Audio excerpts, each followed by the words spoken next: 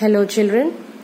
In the last class we have studied about the data storage units and internal and external memories. From internal and external memory I have explained you about primary memory storage devices that is RAM and ROM. We have completed RAM till here. Now I will be explaining from here. Please open your book and a pencil in your hand I have told you that again the RAM is divided into two types SRAM that is static RAM.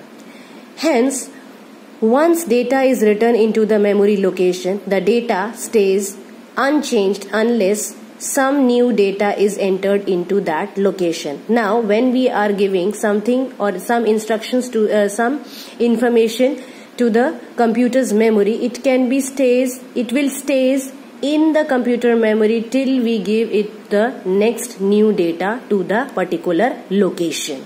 So that is called as static RAM. And the second is DRAM that is dynamic RAM. Here content may change with time due to leakage of change. So it has be has to be refreshed periodically. It consumes less power as compared to SRAM. First uh, difference between this is DRAM and SRAM is that DRAM consumes less power as compared to the SRAM. And DRAM is what?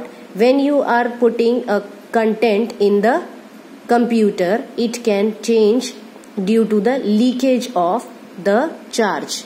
If the charge is leaked, the content can be moved out and your, you can uh, you can lost your content so it has to be refreshed periodically. Timely we have to refresh the content.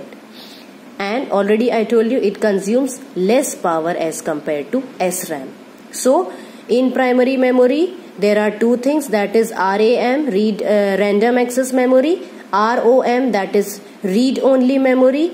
In RAM again two things uh, again two types are there SRAM and DRAM now we will move to ROM Read-only memory, that is ROM, keeps the data permanently. Now this is the thing which keeps the data permanently.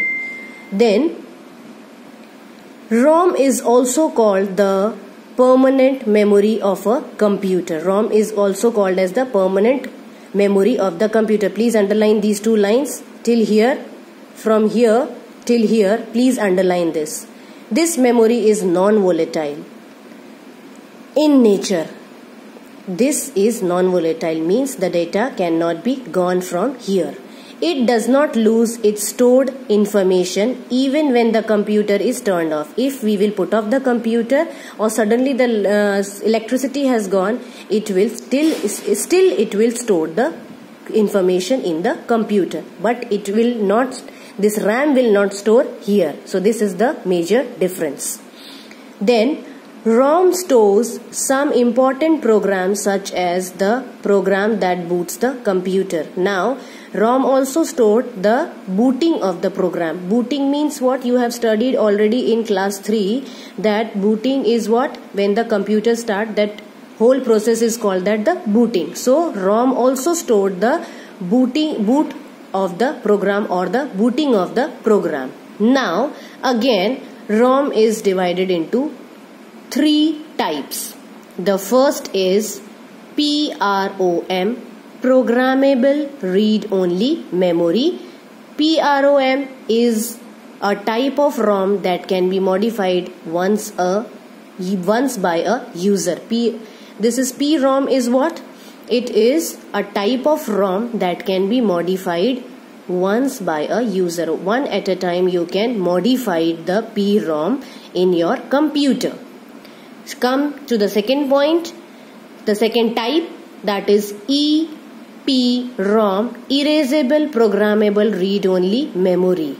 Unlike PROM data in the EPROM can be erased by exposing the memory to ultraviolet light. If the extra ultraviolet light is given on the computer it can be erased from the computer. So unlike PROM, it cannot be happen in PROM, but it will happen in EPROM that I it can be erased by exposing the memory to the ultraviolet light.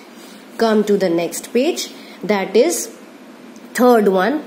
EEPROM electrically erasable programmable read only memory.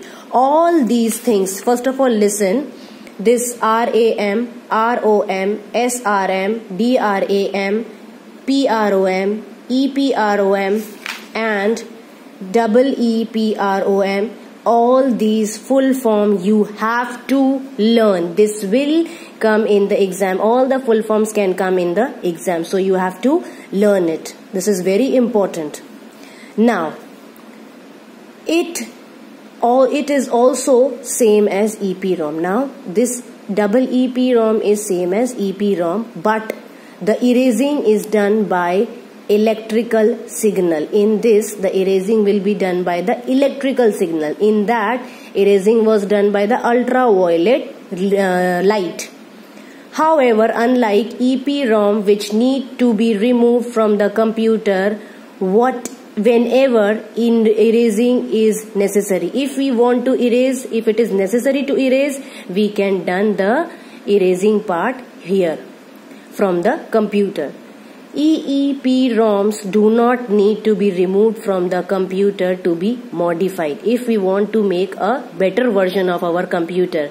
So EEPROM do not need to be removed from the computer.